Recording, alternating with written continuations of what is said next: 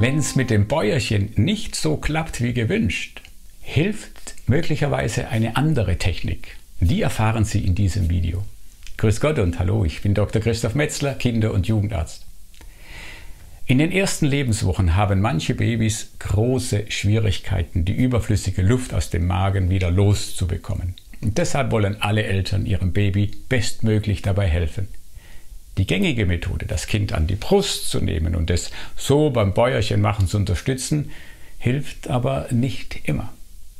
Versuchen Sie es doch einfach mit dem, wie ich es nenne, optimierten Bäuerchen. Und das geht so. Das Baby wird mit seinem Bauch nicht an, sondern auf die Schulter gelegt, sodass der Kopf auf dem Rücken von Mama oder Papa zum Liegen kommt. Das sieht nur scheinbar unbequem aus, denn den meisten Babys gefällt diese Lage. Weil Druck auf den Bauch ausgeübt wird, stoßen sie tatsächlich oft schneller und besser auf. Dabei kommt auch mal etwas Milch mit der Luft mit und deshalb unbedingt eine Stoffwindel oder ein Handtuch unterlegen. Und ganz wichtig, halten Sie das Baby mit der ganzen Hand sicher fest, indem Sie seinen Oberschenkel umklammern. Sanfte Schaukelbewegungen können Sie leicht erzeugen, wenn Sie dabei langsam herumlaufen. Und die freie Hand findet meist automatisch Babys Rücken zum zarten Beklopfen.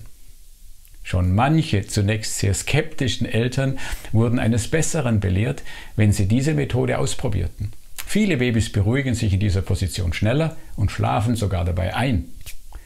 Versuchen auch Sie es einfach mal mit Ihrem Baby. Ein Versuch lohnt immer und kosten tut's auch nichts.